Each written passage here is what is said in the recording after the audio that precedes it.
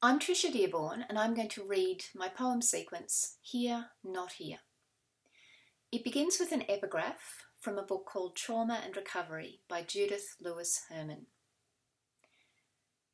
The dialectic of trauma gives rise to complicated, sometimes uncanny alterations of consciousness, which mental health professionals, searching for calm, precise language, call dissociation. Not here. The most direct route to not here is not breathing. The familiar sensation over the head, familiar constriction of the breath that no conscious tactic can overmaster. The body is not convinced that now is safe. The body knows how it survived. Am not.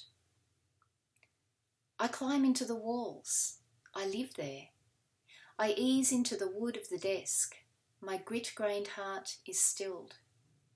I am disengaged. If you rip me out into open air, into a living, breathing, writhing world, you must reconstitute me, atom by atom.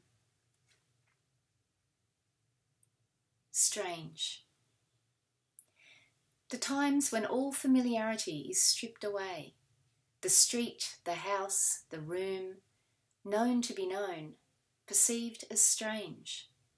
Whose hands are those? Whose face in the mirror? That terrified, fractured gaze. Nowhere.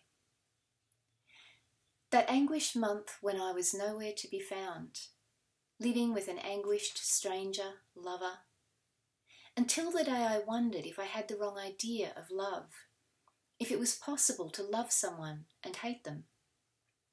It was like unexpectedly seeing a friend come around a corner. Me, I said, as the me that I recognised re entered my body through my eyes.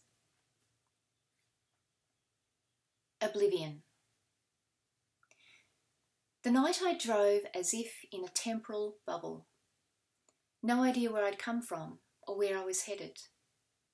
I was there in the car in a point of time that travelled through space unattached to before or after, oblivion behind me and before me, a testament to, celebration of, the times when oblivion was what saved me. Here. The quickest path to here is feeling. So if you learn to bury your feelings, Get used to digging. Get used to the heft of a shovel, the delicate use of an archaeologist's brush. Some of what you unearth will be so old it won't look human, but these remains are yours. Get used to rage that pounds through you for hours at a time. Get used to days of nameless grief. Get used to the body's joy. Sign up to come back to the world you belong to.